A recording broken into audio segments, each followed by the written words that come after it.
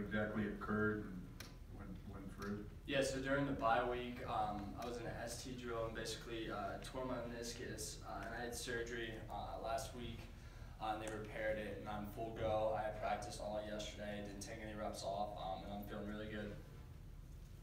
What'd you think of the, uh, your replacements, uh, play last week? Well, I mean, you probably know it's excellent. Te'von played an excellent game, um, and I was really happy for him to get in there and do such a good job for us. You're over here. Uh, you just mentioned Te'von, um, and I know uh, Coach Kelly gave the game ball for USC to Khalid. What do those guys who, maybe they don't start every game, but what can, what can they do for your defense? I mean, they do great things for us. Obviously, everyone on the defense is important to us. Uh, but a guy like Te'von, uh, with our rotation, the three-man rotation that we've done the whole season, it's not like he hasn't had that starting position. He might not be the first guy out there, but he's been taking starting reps all season long, so he was ready for that moment. Um, and that's for all of us. Like whether it's Te'von or I or Nyles starting, we all kind of have had enough reps to where we feel like starters. Greer, here in the middle, how would you, uh, how would you describe NC State's offense and the things that you guys have to deal with adjusting to them? Yeah, I think they're really good at what they do. They have a lot of misdirection with their stuff, and they're just pretty sound at what they do. Uh, they don't turn over the ball. I think they had three turnovers in their first game. Uh, the quarterback's really good with his progressions, um, and so it's going to take a lot of us to beat them. Um, but I think we're up to the task. Uh, Regarding motions, uh, Drue talked about how many motions that, uh, you know, that they incorporate. What does that do for a defense?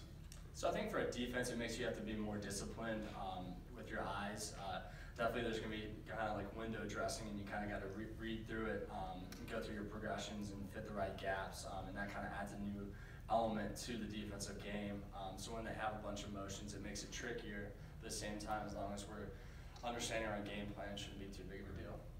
As Niles rem- reminded me, all the running backs that you face are fast, but I was just wondering if Hines uh, is at the top of that list, or who, who at- up to this point has been um, maybe the fastest running back that you guys have faced? I think probably this guy that we're going to see this week, Hines. Um, and I think that uh, he's downhill, he's fast, um, and so it's going to be a challenge for us. But I think we're up to it.